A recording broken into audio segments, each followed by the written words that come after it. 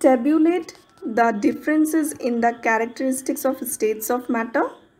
Number A का question पहले कर लेते हैं। स्टेट्स ऑफ़ मैटर में हमें डिफरेंसेस फाइंड करना है। तो स्टेट्स ऑफ़ मैटर क्या होता है? सॉलिड लिक्विड और गैस ये तीनों क्या है? स्टेट्स ऑफ़ मैटर हैं। तो इनमें हम डिफरेंसेस फाइंड करेंगे अभी। तो किस किस रेस्पेक्ट में डिफरेंसेस फाइंड करेंगे? वो मैंने कैरेक्टरिस्टिक्स पार्ट में लिख चुका है। पहला है शेप और वॉल्यूम को लेके हम सॉलिड लिक्विड और गैस में डिफरेंस फाइंड करेंगे।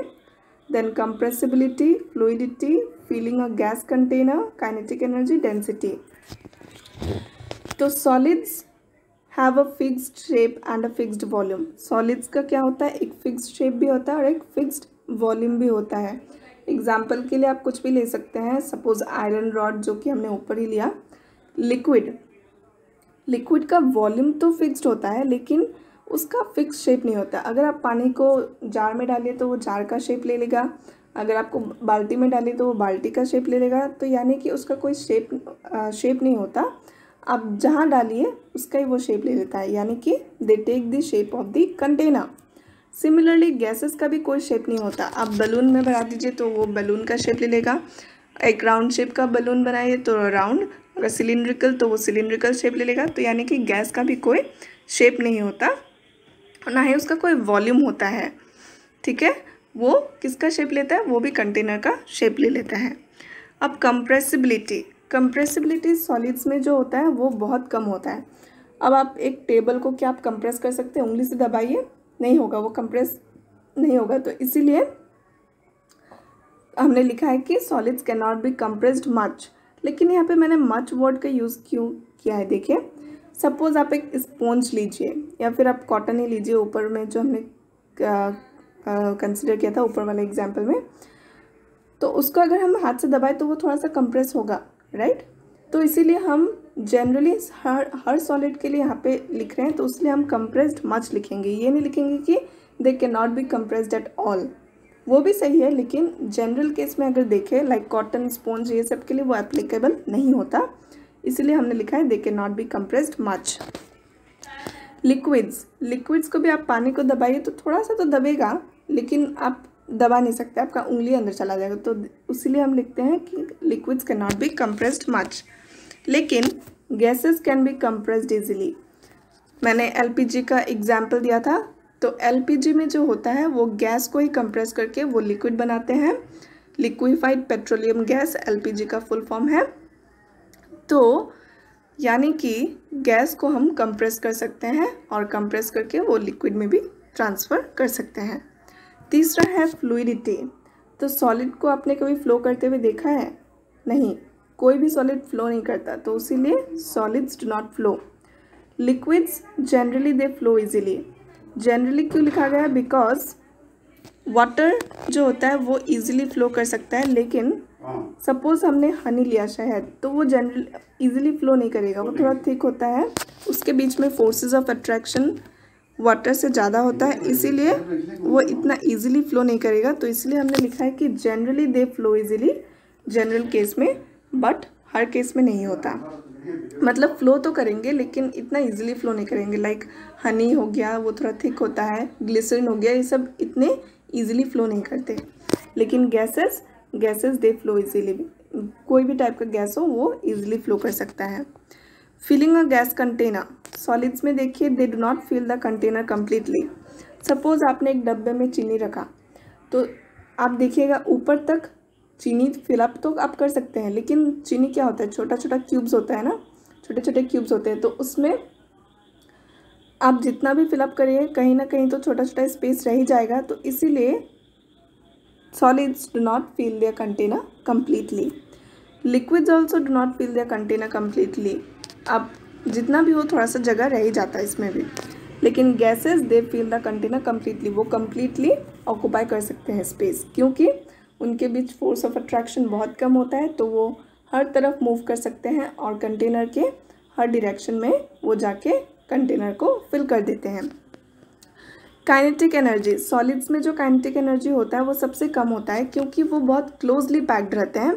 तो एक दूसरे से हटकर वो काइनेटिक एनर्जी मतलब कि स्पीड होता है राइट मतलब स्पीड नहीं होता, लेकिन स्पीड के साथ आप रिलेट कर सकते हैं। तो काइनेटिक एनर्जी उनमें सबसे कम होता है क्योंकि उनके बीच फोर्स ऑफ़ अट्रैक्शन बहुत ज़्यादा होता है सॉलिड पार्टिकल्स के बीच। तो इसीलिए वो इजीली मूव नहीं कर सकते। तो उनका काइनेटिक एनर्जी लोवेस्ट होता है। लिक्विड्स में काइनेटिक एनर्जी मीडियम इंटरमीडिएट या फिर मीडियम होता है और गैसेस में मैक्सिमम काइनेटिक एनर्जी होता है। गैसेस को आप अगर देखें तो वो एकदम फ्रीली हर जगह मूव कर सकते हैं। तो इसीलिए उनके बीच, क्योंकि अट्रैक्शन सबसे कम होता है उनके पार्टिकल्स के बीच तो उनमें मैक्सिमम काइनेटिक एनर्जी होता है। डेंसिटीज़ सॉलिड्स क्या होता है? हैवी होता है। सॉलिड्स में जो पार्टिकल्स होते हैं, वो बहुत क्लोजली पैक्ड होते हैं और वो हैवी होते हैं कंपैरेटिवली तो इसीलिए उनका डेंसिटी जो होता है मास पर नेट वॉल्यूम सबसे हाई होता है। लिक्विड्स में मॉडरेट होता है और गैसेस में लो डेंसिटी होता है। ठीक है? अब हम क्वेश्चन नंबर बी देखेंगे। क्वेश्चन नंबर बी है comment upon the following rigidity compressibility fluidity filling a gas container shape kinetic energy और डेंसिटी इन सारे टर्म्स पे हमें कमेंट करना है। तो देखिए। Rigidity rigidity refers to the property of being inflexible और stiff in other words it refers to the property of resisting change in shape solids are rigids but liquids and gases are not तो rigidity यानी कि stiffness solids क्या होते हैं? वो बहुत stiff होते हैं। उनको आप प्रेस भी करें तो वो अपना शेप जो है चेंज नहीं करते हैं। तो यही मैंने यहाँ पर लिखा है कि it refers to the property of resisting change in shape यानी कि वो अपना, अगर आप उसके शेप को चेंज करने की कोशिश करेंगे तो वो रेजिस्ट करेगा। इनकार करेगा अपनी शेप को चेंज करने से। तो इस प्रॉपर्टी को रिजिडिटी कहा जाता है। सॉलिड्स में जो होता है सॉलिड्स में रिजिडिटी सबसे ज़्यादा होता है।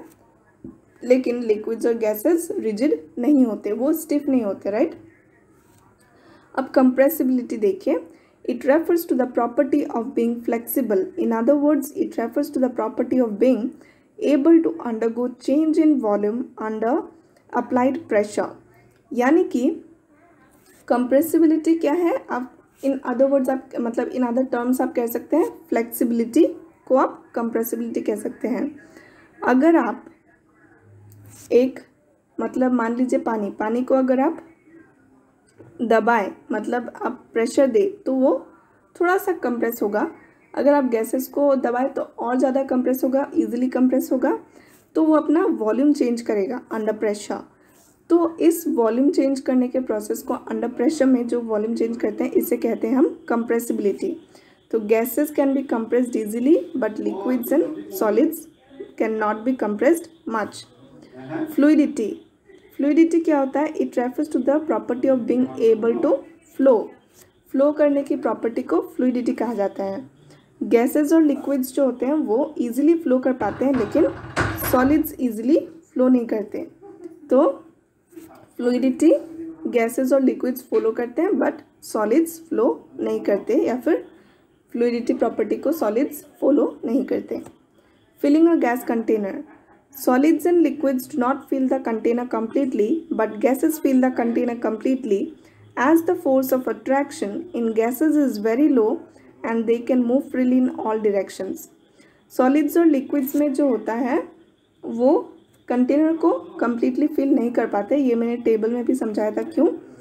लेकिन गैस जो होते हैं, वो कम्प्लीटली फिल करते हैं कंटेनर को, क्योंकि उनके बीच जो अट्रैक्शन फोर्स होता है, वो बहुत कम होता है तो वो हर डायरेक्शन में मूव कर सकते हैं इजीली और हर डायरेक्शन में मूव करके वो कंटेनर का पूरा स्पेस कवर करते हैं और इसीलिए गैस जो होते हैं, वो कंटेनर को कम्प्लीटली फिल कर पाते हैं, लेकिन सॉलिड्स और लिक्विड्स फिल नहीं कर पाते।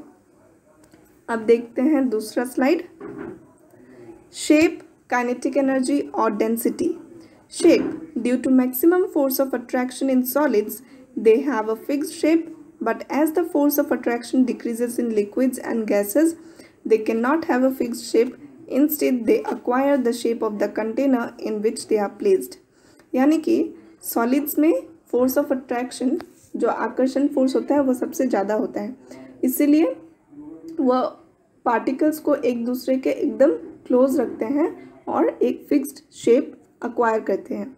लेकिन लिक्विड्स और गैसेस जो होते हैं, उनके बीच फोर्स ऑफ़ अट्रैक्शन उतना स्ट्रांग नहीं होता, थोड़ा कम होता है। तो इसीलिए वो अपने पार्टिकल्स को इतना क्लोज नहीं खींच पाते और इसीलिए वो एक एक रिजिड शेप एक्वायर नहीं कर पाते तो उनका एक फिक्स शेप नहीं होता।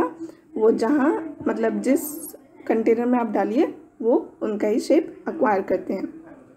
Kinetic energy kinetic energy is inversely proportional to the force of attraction between the particles यानी कि अगर फोर्स ऑफ़ अट्रैक्शन कम होगा तो काइनेटिक एनर्जी ज़्यादा होगा। ये है फोर्स ऑफ़ अट्रैक्शन और ये है काइनेटिक एनर्जी तो अगर फोर्स ऑफ़ अट्रैक्शन डिक्रीज होता है तो काइनेटिक एनर्जी इंक्रीज होगा।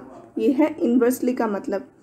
तो हमने देखा है कि गैसेस में जो होता है, फोर्स ऑफ़ अट्रैक्शन सबसे कम होता है तो इसीलिए काइनेटिक एनर्जी मैक्सिमम होता है गैसेस में। इंटरमीडिएट होता है लिक्विड्स में, काइनेटिक एनर्जी और सॉलिड्स में जो होता है, काइनेटिक एनर्जी सबसे कम होता है, क्योंकि उनके बीच, सॉलिड पार्टिकल्स के बीच जो फोर्स ऑफ़ अट्रैक्शन होता है, वो सबसे ज़्यादा होता है। Density it is defined as mass per unit volume solids have maximum density liquids have intermediate and gases have the lowest density तो ये भी मैंने टेबल में समझाया ही था। सॉलिड्स का मैक्सिमम डेंसिटी होता है क्योंकि उनके पार्टिकल्स बहुत क्लोज रहते हैं। तो एक दूसरे के सामने रहते हैं तो मास पर यूनिट वॉल्यूम उनका ज़्यादा होता है तो इसलिए उनका डेंसिटी भी ज़्यादा होता है। सिमिलरली लिक्विड्स में डेंसिटी कम होता है क्योंकि मास पर यूनिट वॉल्यूम पार्टिकल्स जो होते हैं, कम होते हैं और गैसेस में सबसे लोवेस्ट डेंसिटी होता है। अब चलिए देखते हैं दूसरा स्लाइड